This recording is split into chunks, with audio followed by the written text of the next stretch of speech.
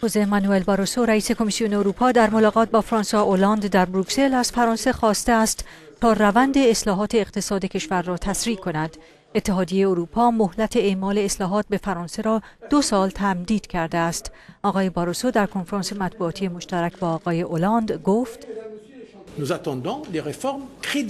ما جویای اصلاحات واقعی در فرانسه و دیگر کشورهای عضو هستیم زیرا مسئله فقدان رقابتی بودن اقتصاد در بویژه در مقایسه با دیگران در فرانسه است. آقای اولاند ضمن تایید اظهارات رئیس کمیسیون اروپا گفت این اصلاحات به سود فرانسه خواهد بود. ما در طول یک سال گذشته اصلاحات گسترده‌ای مترتب داشتیم به سرعت و قدرت عمل کردیم. اما هنوز باید در این راه ثبات قدم نشان بدهیم. نه به خاطر آنکه کمیسیون از ما خواسته یا معاملاتی در کار است بلکه این روند به سود فرانسه خواهد بود.